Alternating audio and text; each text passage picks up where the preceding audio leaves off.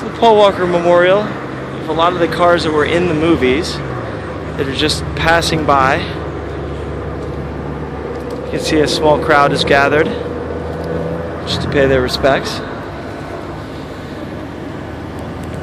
Uh, this all happened organically. Somebody mentioned it on Facebook, and everyone just started to show up. But you can see what's going on.